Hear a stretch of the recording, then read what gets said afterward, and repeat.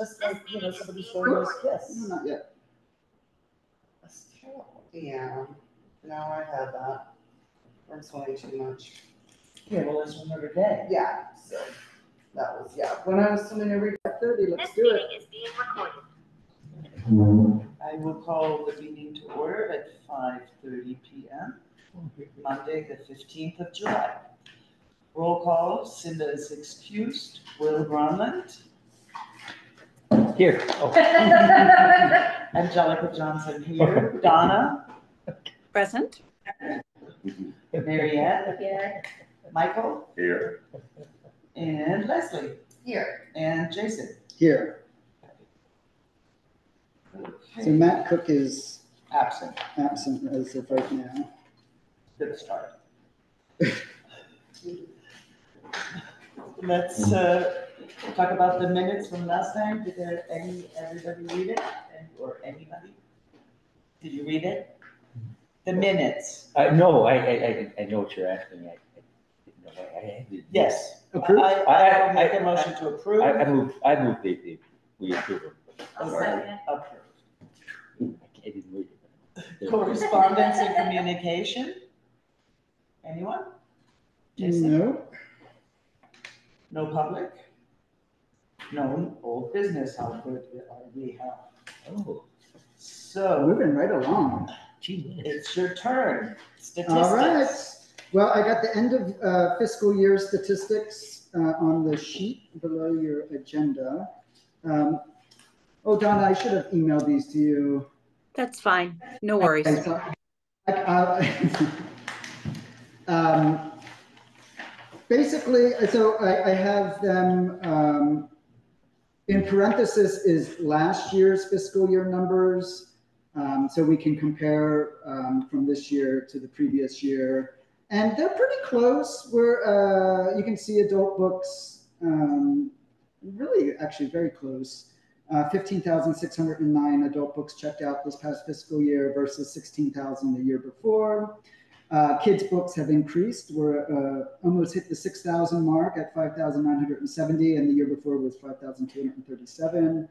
Uh, audio CDs are down. I guess people are streaming. Uh, they're down quite a bit. Um, and DVDs are slightly down, uh, still checked out 21,911, which I don't think is anything to sneeze at. Um, it was almost 25,000 the year before. Um, but again, we are in this transition of people streaming stuff and um, Yeah, I was gonna ask how that relates, if you have, I was just looking to see if you have the blood. oh, um, oh, you know what? I that matters. the uh, Kanopy, but just in general, Sorry. yeah. Um, I don't have that on here, do I? It's no big deal, I just wondered if that impacted it at all. That's, uh, from what I, I've seen of it, that is staying pretty steady. Um, but, uh, the streamers, they're, they're big, Netflix and all the other ones. Um, and the upsetting thing is that they're not releasing things on DVD. Not everything gets released on DVD Yes. anymore. And Right. it's, it's a bummer for those is, of us that like to collect, uh, physical items. there is a, a new Kanopy program. So the county has, uh, a Kanopy program Yes. now too, yes. Ours is, uh, Friends, right? Yes, ours is sponsored by the Friends. Ours is a Yeah. little bit more robust. And, but it goes by, you can only watch so many, whereas the counties is like uh, unlimited. Oh, it is? Yeah, that's what it said on that email. I am looking into that. They, they're not offering everything that the, you know, that our Kanopy has, but they're, they're offering more educational Uh-huh. And some older stuff. But, Okay. but it is unlimited. Excellent. It's really great. Um, the annex is uh, down by about 600 items, uh, but still managed to check out over 5,815 items from there. Um, and then you can just see children's library is same kind of up and down. Uh, overall, doing better this year. Um, I added a ton of kids' books uh, right before um, school let out. So I updated uh, all of our graphic novel series, made sure that we were uh, up to date and had the latest uh, ones of those. Uh, same with our fiction series for kids.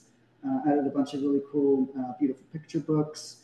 Um, yeah, board books are up, early readers are down, and picture books are up by almost 600. So that's really good.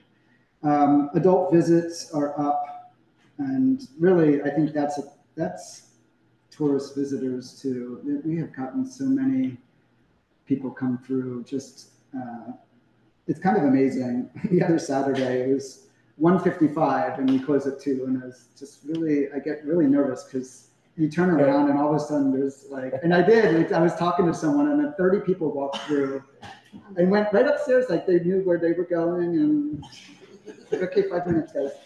Um, but we are getting a lot of uh, really cool, like library lovers, uh, library workers uh, that just uh, are really excited uh, since we've been in the news. People are coming to see us, um, which is great. We, we do love that.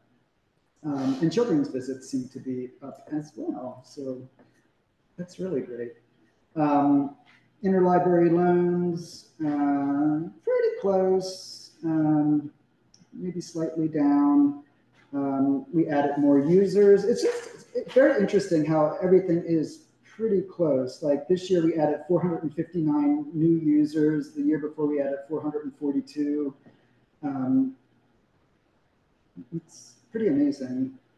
Um, hotspots, culture passes. Culture passes are way up. That's way up, Yeah. Yeah, that people are, are Figured out.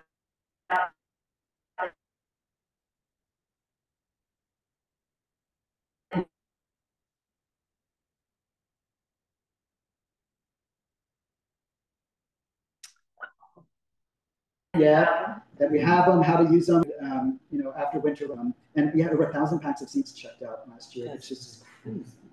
A lot of seeds.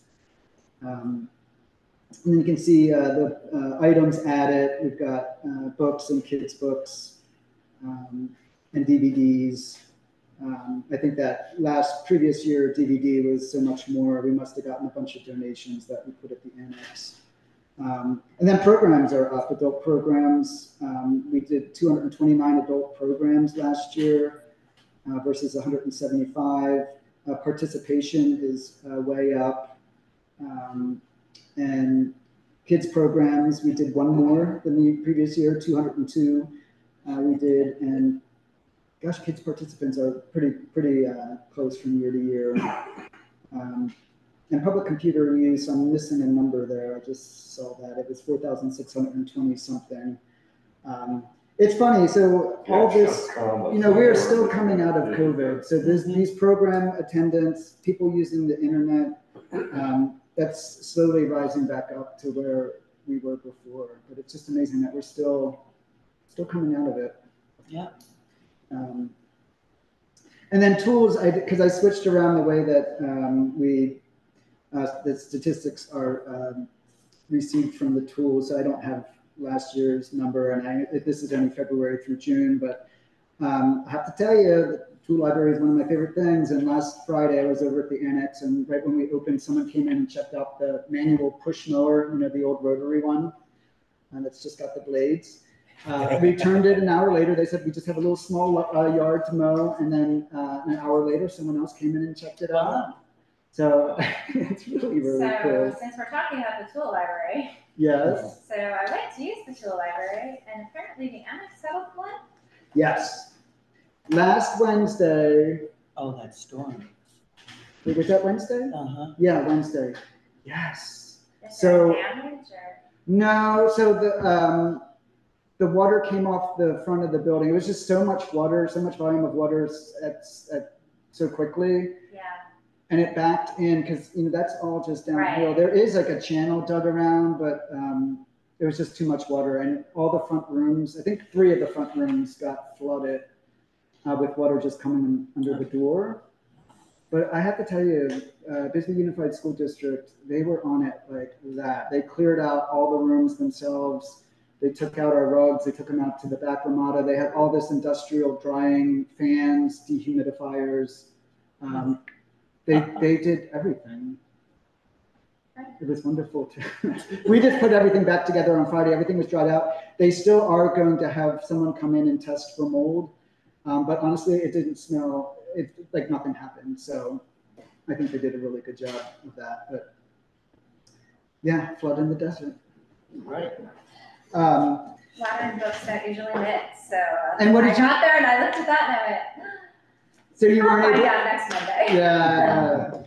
Um, and then since we're on the tool library, um, take a look at this. Uh, this is not tools, but part of our library of things, new um, additions that um, the Friends sponsored. Uh, so more yard games. We've got uh, horseshoe sets. Um, there's actually a couple uh, courts over in Vista Park. Um, two of the bocce ball courts were turned into horseshoe courts. So uh, you can play horseshoes and Bisbee, giant Jenga, um, which keeps getting checked out, uh, long chart, Jerks. and then metal detectors. We have two metal detectors, which are the it item right now. Yeah. thought I thought it was gonna be a, what do you call it, a weed whacker. Ah, no, no, no, I no. I got very detector. excited. Uh, so we tried to add all this uh, right at the beginning of summer, and uh, families are really there. We've got a, a, list of people waiting to use the metal detectors. Everything gets checked out for seven days, so it's a pretty quick turnover. Um, but just exciting stuff, you know. So if you see someone around, I, I'm hoping they're not like in city parks digging up the. Um, uh, but really exciting. Like I, I, we have so much fun with our library of things, and people that come in and, and check it, you know, to see what we have, are just amazed, and uh, just really fun stuff. Um, so does anyone have any questions about the statistics? No? Thank you so much for putting this together every time, Jason. Oh yeah. Well, honestly, and I, we hang this in the elevator. Like people, I think it's really interesting, and people Mhm. have like Yes, just to even know. tourists like to know what's going on. Yeah. Yeah. Um, I, it, it's important to us, you know, that, that people, you know, know that we are literate here in Bisbee. We read a lot of books.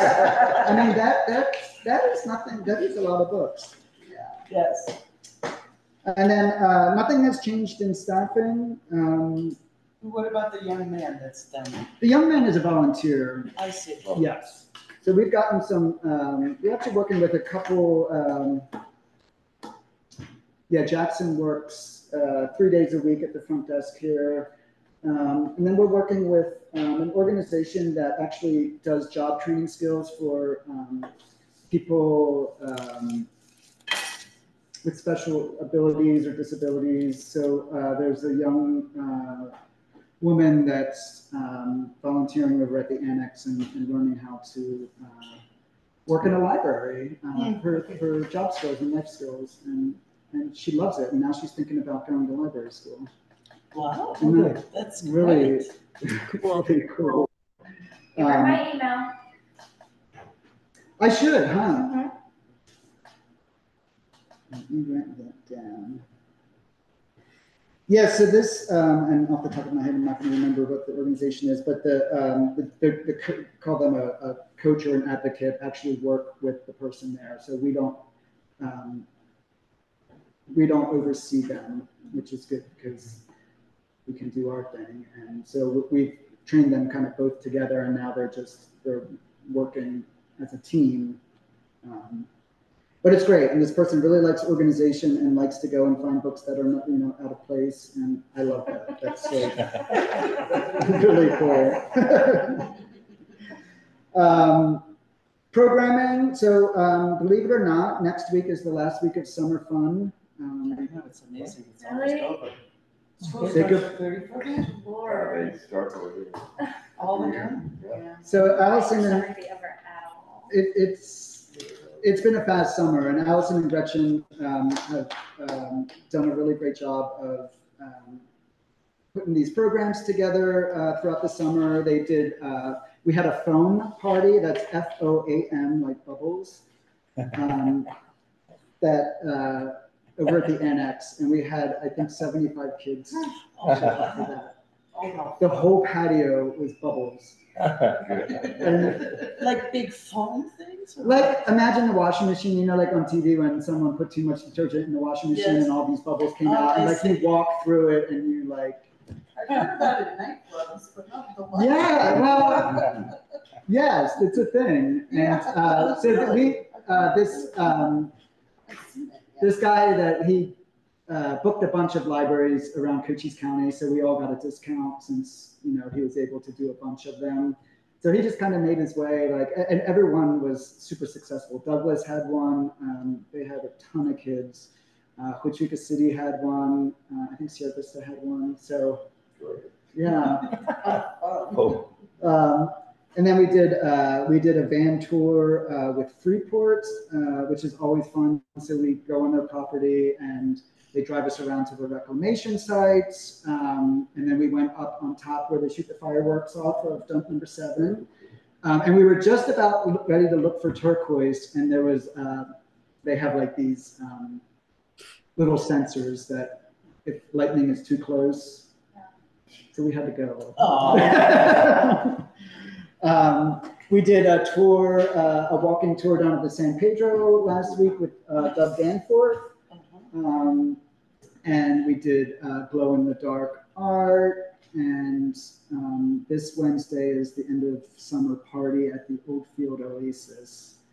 Um, we've had it there for the last, I think, three years. Um, so yeah, it, it's been great. Um, we've uh, I just put in just uh, our July schedule just to, so you can see uh, what else is going on this month. Um, but our Tuesday evening programs have been uh, really well attended, um, and Allison's putting together a schedule for fall. Um, and yeah, we're, we're uh, open art studio, all the our, our ongoing monthly programs. Um, we're sticking with all that. Um, chess club here on Saturdays is really successful. We had about 22 people play chess on Saturday. Um, So you have it here and at the annex? yeah, they do one once a month at the annex. Now that's their summer schedule, um, and so they'll probably take hiatus for August, and then they'll probably come back in the fall and do another uh, round. Uh, but really super. Uh, so it's all ages, and like literally, you'll have uh, a little kid playing an adult, which is it's really cool. Um, and uh, a lot of people coming in uh, recently that have never played chess before and want to learn. So um, Nick Mueller's the um, he runs Cochise Chess, and he's so good. I, I don't know how he does it because someone will come in and be like, I don't know anything about chess, and then the next person will come in and be like, I'm pretty good at chess, and he's able to set everyone up and teach them skills and also challenge people who are really good at it. So he's good. Um, and then um, just this is really cool. Um, Charles Bowden, do you guys know who Charles uh, Bowden is? He's he was a journalist. Uh, he lived in Tucson. Um, he was did a lot of uh, border writing um, and um, didn't really uh, really told the story how it is and was. He he has passed away. Um, so a lot of his uh, books were kind of gritty um, and you know as the border can be. Anyway, so he uh, he has written a lot of books that we have, but uh, he also uh, was a lover of photography and he collected a lot of photography books and a lot of um, photographers from Mexico that are just not well known. Um, so his trust reached out to me uh, a few months ago and was wondering if they could donate a collection of his photography books that he collected. Um, and um, there wasn't over, it was like one shelf worth. So I was able to move things around and uh, be able to fit that in. But really, uh, really great partnership. Um, you know, they came down, they were just so excited. They reached out because they thought this was, Bisbee was the perfect place to have these books um, because we are such an art town um, and just an admirer of art. And um, they thought this would be a really great fit. And uh, we have them now. They, I've cataloged them all. They're, um, they all have book plates uh, saying you know, that they came from this trust. Um, and uh, yeah, a really great kind of showcase of photographers, you know, and a lot of names that you'll recognize. Um, and some just, yeah, not well known. I really especially like the, the Mexican photographers. Really great. Um, they're older, so you just see how things used to look. Uh, And it's just uh, upstairs and. they're upstairs. Yeah, right now I have that on the display table. There's a display with one of these, just letting people know that we have it. Uh-huh. Um, yeah, there's a shelf in the photography section that's just dedicated to this collection um, for people to check out. So, Jack Dykinga uh, is an do you know? Arizona Highways. is- Yeah. is where a lot of his work is. Okay. You know, I've been to photography and Yeah. mathematics. So he is, I, I consider myself an amateur photographer, stress on amateur, but, you know, I mean, he's, I'm a big fan of his. Oh, that's great. That's Yeah, so great. there, I'll have there's, to check that out. then. I he's wanna got some start. books up there. Yeah. Okay, and, cool. uh, um, Well, um, Um, and then uh, I just wanted to update you all on the incident that we had here on June 14th. Um, and uh, there's really not anything to update because nothing, we don't know anything Nothing, no, nothing. no, um, but um, I can say um, that um, this was specifically targeted against our drag story hour that we did.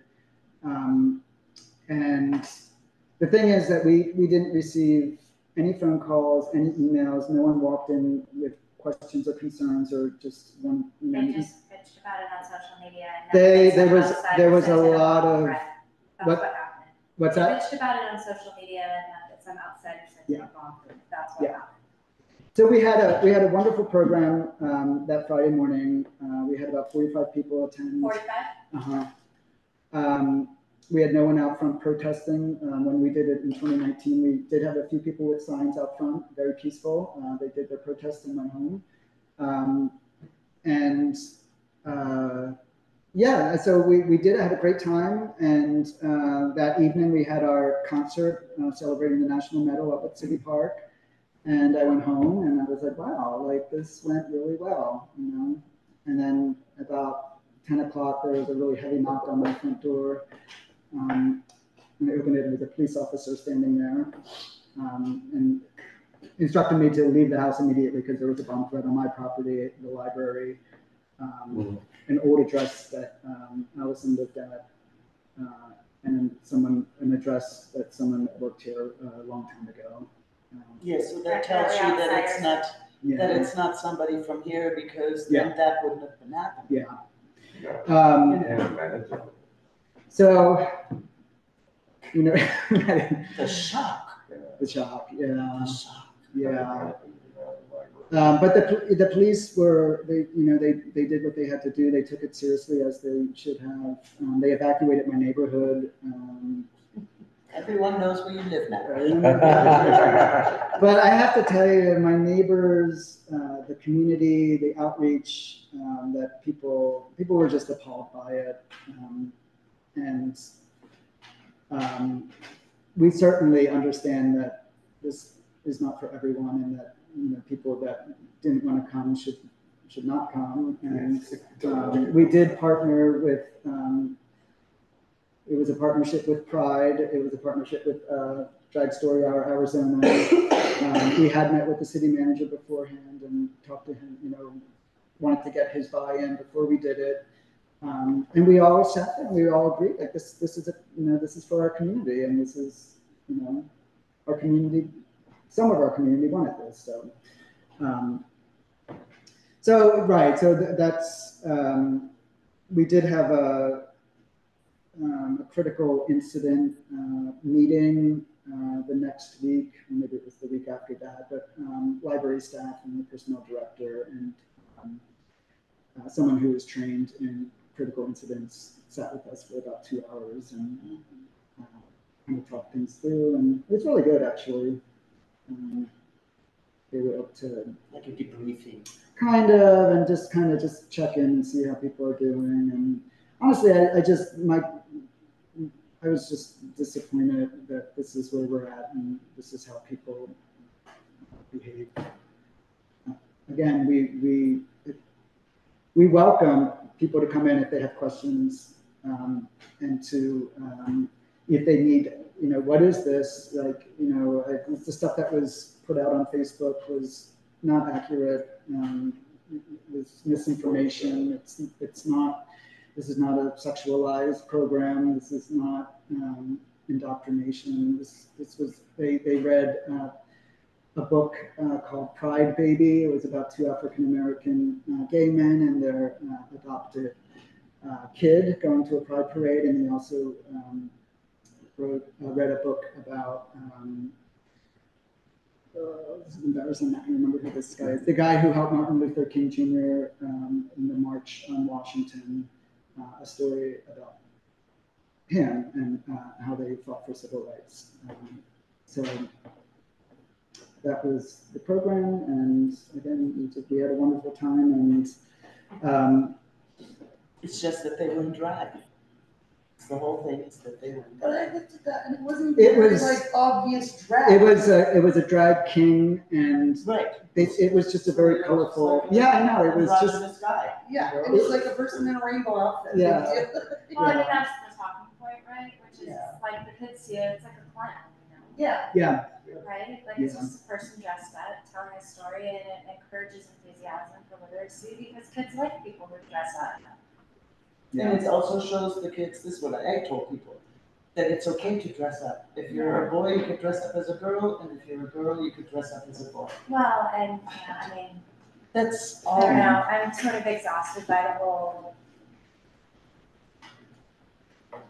discourse, because Yeah. I've been in the discourse for about four years now, and it's exhausting. Um, do you guys co- do you cover that like in? I do.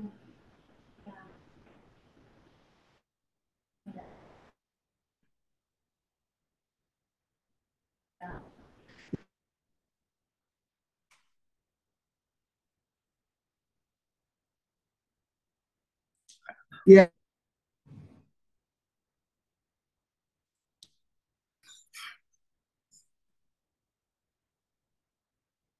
Ends and any kind of, you know, that this would, would, would be a ban against the program. Um, Yeah, but yeah, that we reported that. It was reported to the FBI, um, obviously. Uh, that I just went to OIF because I know they collect, yeah. they collect stats and data. Yeah. And, And- and, you know, And that conversation with him was, was very, um,